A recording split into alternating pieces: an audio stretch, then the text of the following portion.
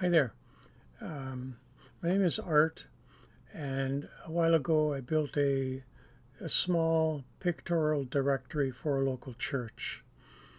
And um, I built this in QuarkXPress 2018, and I chose that program because they wanted a piece of software that they own. They don't have to pay a subscription for it and for nonprofit organizations or institutions like churches, um, they get it at a pretty cheap price. And uh, with QuarkXPress, uh, if all they ever did was build uh, and change this directory, it's well worth the price. Um, so the first thing I do is I build a folder that everything's going to go into and in this case I've called it directory. And when you open that up, you'll see I have a folder for cover pictures, and we have uh, another folder called miscellaneous in which I put uh, logos, graphics to dress up the uh, the document, and so on and so forth. And then I also have a folder where I have all the pictures of the people that's going to populate this particular document. So we're going to go to QuarkXPress and we're going to open it up and we're going to go File, New, Project or Command N. And uh, the, um, the dialog box that comes up will say Layout 1, we can leave that alone. We want print selected and the default is uh, US letter, which is here, the size, and we want half of that. We want a document that's five and a half by eight and a half, and we want portrait, and we want automatic text box. And on the margin guides, we're going to use 0.625 or 1 8, uh, 5 eighths of an inch for all the borders around the page we need one column and the gutter width for this uh, uh, document is uh, irrelevant so we can just leave it alone and we'll say okay. And Quark has built our uh, built a, a, nice little uh, page for us and we'll command 0 to center it and command minus to make it a little bit smaller so we can see the whole page. Now the next thing we're going to do after this oh, actually, before we do this, we have to make sure we have some windows, uh, uh, some directories open. And so we want a style sheets uh, directory and a colors, and we need to have our um, uh, tools palette, and down here we need, uh, select this so you can see it, we need to have this measurements palette. And you will find all those in window and you'll see colors, it's selected, measurements is selected, style sheets is selected, and tools is selected. And so if one of these while you're building this disappears, this is where you'll find all those. Um, so did that just disappear on me? Yeah, tool. So there we go and it goes back where it is. So the next thing we do is we're going to go to page display. We're going to go to master A and just go my command uh, minus make it a little bit smaller. So on this page we have um, a text box that Quark has built for us.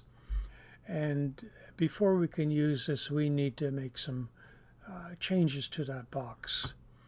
So first thing we're going to do is while it's open, you're going to look down here, straight right below it, in the measurements palette, you see these uh, four little symbols. And the first one is top alignment. So that makes the type align to the top of the uh, uh, text box. This will make it align to the bottom of the text box, the center, or justify. And in our case, we want it to have bottom alignment. And then we're going to go and change that page to white, which is over here in your colors palette, which is white. Now we're going to choose drop shadow, which is in your measurements palette, almost uh, just below your uh, page. Click that, and we're going to go apply drop shadow. And it's too dark for my liking, so where it says 100%, we're just going to change that to 40. And we so OK, or enter. Now the other thing we need to do is have this text selected and we're going to go to paragraph and we're going to make sure that the text uh, down here is aligned to the right. Now if you look at your text uh, box you'll notice in the bottom right hand corner there's a little blink blinking cursor that shows that whatever we put in there will be aligned to the right and to the bottom and that's what we want. The next thing we have to do is, um, is change size of this because we want it uh, one-fifth the size, a little bit smaller, um, so we can put five of these, uh, five text boxes in a row. Um, and so to do that, we're going to go to the Home uh, button here, and you'll see there's uh, some numbers in these boxes. So the first two here, the X and Y, is how far away the top left-hand corner is from uh, the text box is from the actual edge of the page. Then we have the width of this particular box and the height. Now these boxes are also calculators, so in here you can click in here after the 0.75 and we're going to put in a slash 5 which divides it by 5 and then we're going to make it a little bit smaller and we're going to put minus 0.125 and we'll go enter and you notice all of a sudden it's all uh, small or smaller. Now we're going to make sure this is selected and you're going to hold the shift option key down and with the mouse just drag that box down and then while this is still selected um, you're going to go command duplicate or command D and you're going to do that to and there we have five boxes. And the bottom one you're going to use the down arrow key and just move it down a little bit not quite to the uh, uh, uh, to the guides. Then we're going to select all these boxes here because we want to make the spacing in between even so we'll go to space align and we'll go to the very first uh, and it says space top edges and it will space them evenly because it says that here. Or we can put a number in there but space evenly is good. And I just click on the side so it's all deselected. So um, another thing we would like to have on this page so everything that's on this page will appear on all your uh, pages that you build so on here we're going to build a little box on the top which will hold the name directory.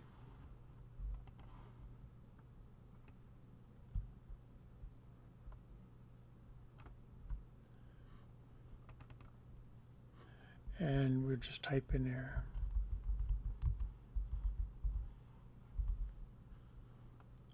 And of course, you can have it say anything you want. You can put dates in there, uh, that sort of thing. And we're going to go down into the measurements palette and we're going to go character, regular, bold, and we're going to change the size to 14 points. And um, we need to go to paragraph and we'll center that sideways. And that's good. Now this thing is still selected, so we're going to have the shift option key and we're going to drag it all the way down to the bottom right about here and it's made a copy of that and in here we're going to use the command uh, hold down the command button and the 3 and it puts in a symbol in there and this is a uh, uh, it makes automatic page numbers so as you create pages in this document it will number them one after the other. So one, two, three, four, five, six, etc. Um, So the next thing we need to do is I'm just going to go up here and use the selection tool and click on here so nothing is selected. So we need to um, make sure that these five boxes are linked together so that if we put text in this top box and there's more text than the box can hold, it will flow into the next box and down and down and down until it runs out of space down here and it will make a new page with a text box and um, and yeah. So to link these boxes we're going to go into the tools, tools palette up here on the top left and we're going to use the text link linking tool. It looks like a little chain. And we're going to click on that and we're going to click in this first box at the top. And then we're going to click into the next box and you see it's built a little arrow goes from the bottom of this one to the top of the next one. And we're just going to click in here click in here click in here then you're going to change this selection tool and click on here so that nothing's selected. So the next step now we're going to do is go page display and we're going to go to layout 1 and unfortunately this didn't change down here it should be page 1 so we're going to go back to page display master A go to the text tool. There and scroll up a little bit and we're going to just do it again command 3 and now we're going to go to page display layout and a second time around it works go figure so we're going to go up here to this selection tool and deselect everything. So there we have a page that um, it's not quite complete. We have to add some things to it. So the interesting thing about Quark's text boxes is that they will hold more than just text.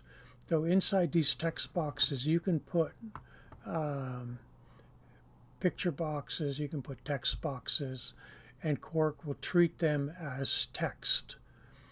So we will build, uh, use the, uh, uh, the rectangle box tool.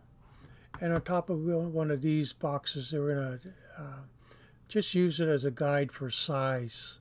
So we're just going to draw a box like so.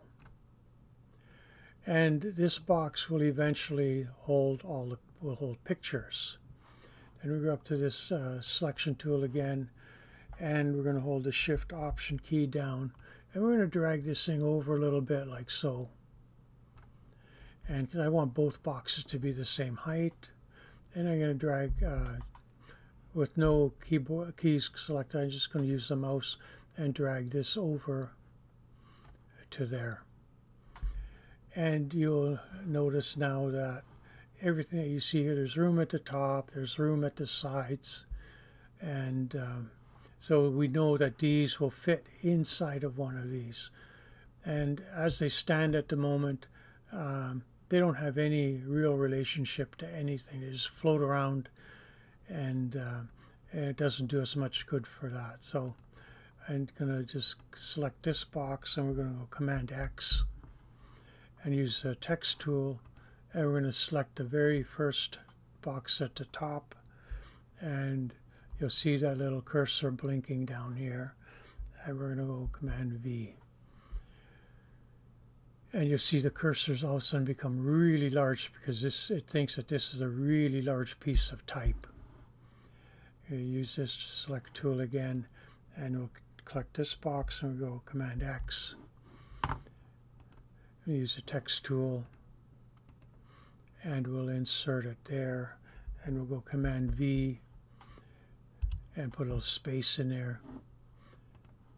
And you can see that um, it also thinks that we've still put a large piece of type in there even though it's not type so we're going to take this selection tool again and select first big box and we're just going to drag it over just a little bit I want about this much space in here. Because what's going to happen is sometime down the road you're going to have to go and get an insertion point in here. And if it actually touches this edge like it does over here, it becomes almost impossible to do that. So we need to have a little bit, little bit of space. So we're going to put a picture in here. And we're going to go Command E. And we'll take this picture and we'll go Open. And now we have a picture in there, which is pretty nice. Then we're going to go here and go Command E. And uh, inside the directory, uh, miscellaneous, I have some untitled text. And we'll go OK and it's put in all the text from that document. And we're going to go uh, Shift Command down, and we will delete all that ex excess type. So if we were to uh, uh, make this um, fill all these spots with this type, then you'd have to go through individually and format all these names. If you're happy the way it looks, we're good. But most people would like the name a little bit bolder, so we have to go down to character. And we're going to go bold. And we're going to make it a little bit larger. We're going to go 14 points. And then the phone number again, you want it to highlight it a bit. So we're going to go Helvetica uh, bold oblique. And we'll just go I don't know, we can type in there 13. Now, if we had to do this with a couple hundred uh, uh, entries, it would drive you crazy. So Quark has some, uh, you can set up some of their style sheets so this will do that automatically when you imp, uh, import the text. This will just happen, but it's beyond the scope of what we're trying to do today. So um, but what we are going to do is uh, um, we're going to use style sheets to program this so that this is easy to do with just a couple keystrokes. You don't have to go down into your measurements palette, find a type, and do all this scrolling around and finding, uh, finding all this stuff. So the first thing we will do is we will select this uh, address and we will go to this little the bottom style sheet here and you see the the A and we will click on that and create a new style sheet and we will call that tech uh, uh, body so basically body copy and we're going to add a shortcut for that and we're going to call that control 1 and we'll say okay then we're going to select uh, Martha, uh, the name. And again, we'll go here A. And we'll call this uh, name. And we're going to add a shortcut. And that will be Control 2. And we'll say OK. And we'll take the phone number. And we'll go back to the A. And we'll call this phone.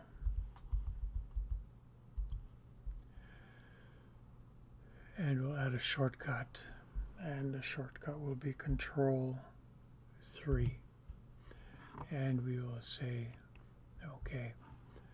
So now I'm going to change all these things to uh, body. So uh, now we can actually go through and populate this. So how this works is um, uh,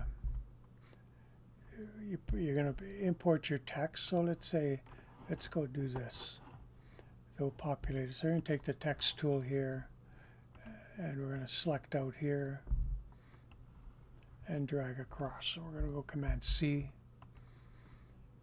And when I go paste, it's going to see if you see the blinking cursor here, it wants to uh, paste it into this spot, but there's no room. So when you go Command V or paste, it forces it into the next box and the next box and the next box and the next box. Okay. And you can do that forever. So uh, the next thing that we do is we're going to put a picture in. We already have a picture in for this. and we want to format this type once you put it in. So here we're going to highlight it and we're going to go control 2 and control uh, 3.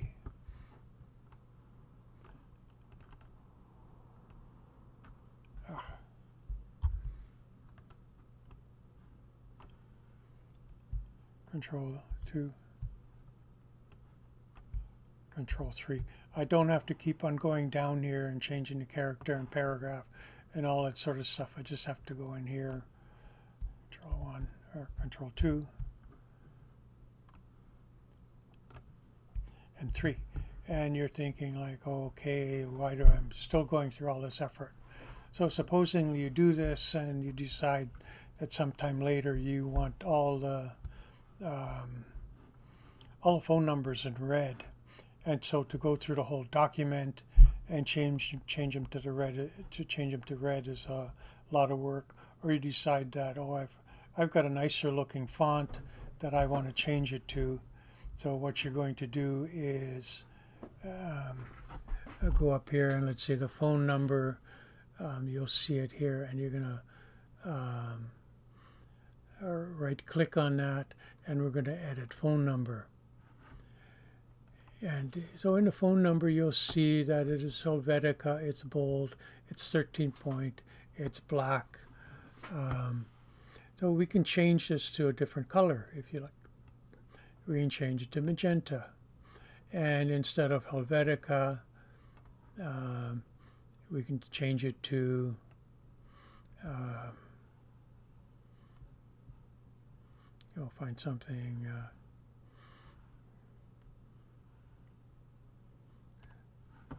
just picking a, a font and we'll go bold and we'll say okay? And you see all the phone numbers have changed that we've applied um, uh, this um, style sheets to. The ones we haven't done any style sheets to they don't change. But if you watch down here they've changed the style sheet so we're going to go here and we're going to go command 2 and command 3 and the text changes to the color that we wanted and so on as as we go along. So it's uh, pretty powerful that way. And you can go through your document uh, quite quickly. Um, and we, of course, we can go add some more people here, Command E.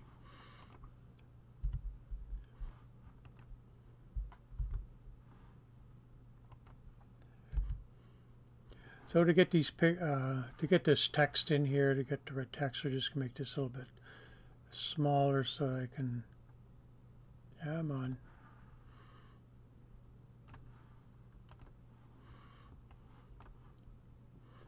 Gonna go in here untitled text drag everything over here. So from another document, it could be a Word document, an Excel document, um, something like that. Um,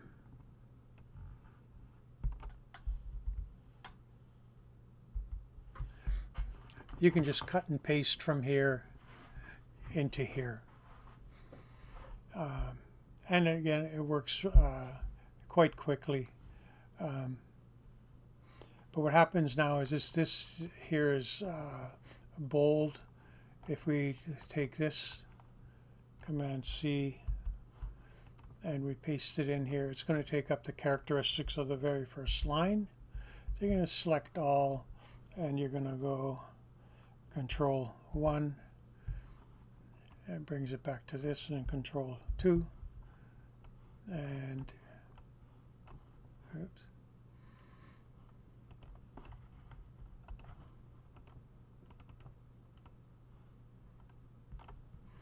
Control 3 and there you have your formatting and uh, it's a pretty it's it's easy to do okay so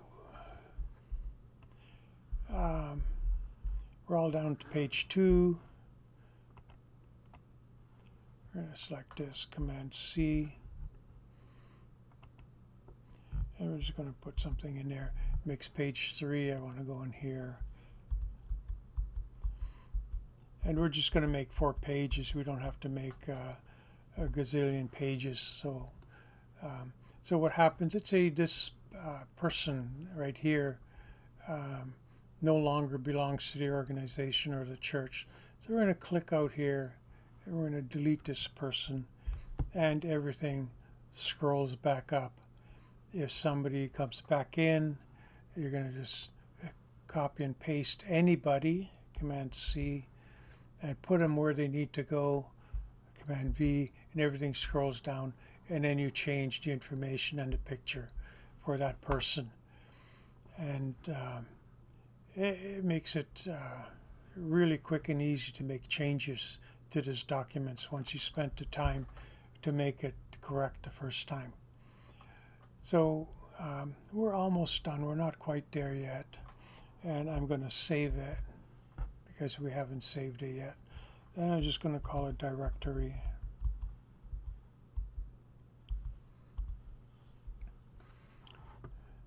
And we'll say save. And we're going to replace what's there. Okay, so um, uh, we're going to make this a self cover. So when this goes through the photocopier um, or goes through a print shop, the cover is actually the same uh, stock as the paper that the inside is, and it'll all be produced at the same time. So we need to add a couple pages to page uh, in front of page one. So we need to add a page for the cover and the inside cover.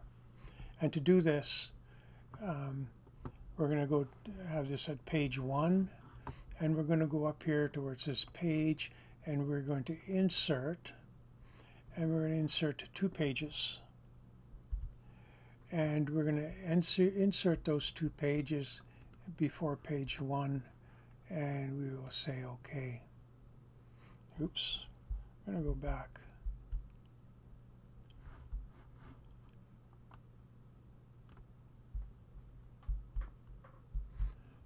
Uh, we're going to delete this page and you know page delete this page and we're going to say okay. We're going to do that all over again.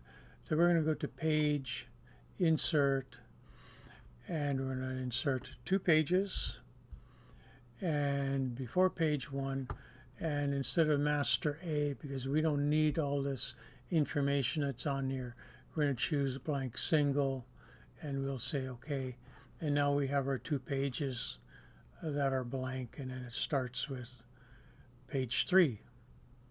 And we don't want it to start on page three we want it to start on page one but QuarkXPress thinks it has two pages in front of it so we want it to automatically renumber all these pages. So again we're going to go to page we're going to go to section and start section and we'll go OK and you see the page number three has changed to a page one which is what we want. And then on the very first page we're going to draw a box.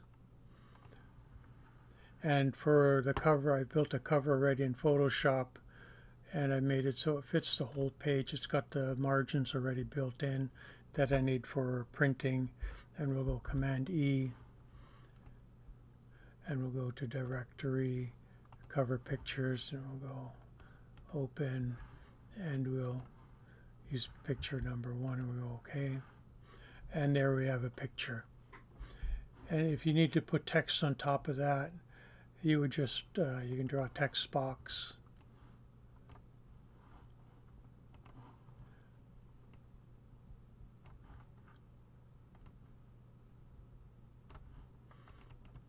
And in here you can put uh, date, uh, addresses, whatever you want, and you can add text boxes anywhere you want. You change the font, uh, whatever, and they'll just print right on top. They'll print block, which is actually quite nice. So I'm going to delete that because I don't particularly want that. So Command K will delete that little box. Now we have to go to the very back of the document and right now it ends at page four. And is that what we want? Yeah four pages plus the cover six. So now we gotta have a back cover and an inside back cover.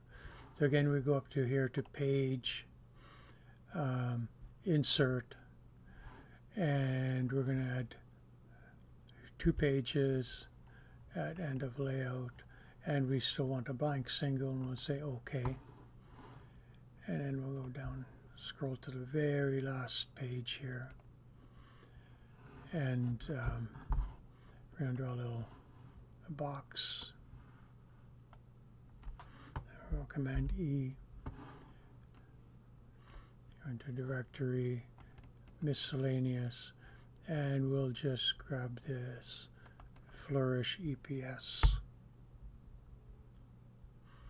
and it puts a little flourish in there and if you hold shift option command and the F key it fills the box sideways and just going to drag the whole thing down a little bit. And so now we have a finished uh, document. However it's still not a booklet. So we're going to save it. And our next course of action is we will fi file export as PDF and it brings up a little menu here and you may have to make sure you go down to options which is here and you're going to click on options and you have to check off this include blank pages. Otherwise the PDF you build uh, will not hold uh, will not build the uh, inside front cover and inside back cover you'll just leave them out because they're blank and so we'll say okay and we'll go save uh, we want to go into directory and we will save and we will replace what's there. And we don't need this open anymore and we'll just save it just because. Now if we go into directory, you have here, and we have our directory PDF, reader, come on, There we go. And there we have our directory. And when we print it, there's a cover, there's the pictures inside the pages, um, like that. So when we go print, you can use the print thing up in the top left-hand corner, or you can go command print. And you're going to check down in here. You choose actual size, and you'll choose booklet and you'll see now you have the front page, the back page, and you will have the inside pages in the correct order that it needs to be. And if your printer will print, um, will duplex when it prints, you're done. If not, you have to print all the odd pages first and then put them back in all the odd pages to the machine and print all the even pages. And um, now we are done. So thank you for watching, and uh, we'll see you next time. And we're going to cancel this, close that.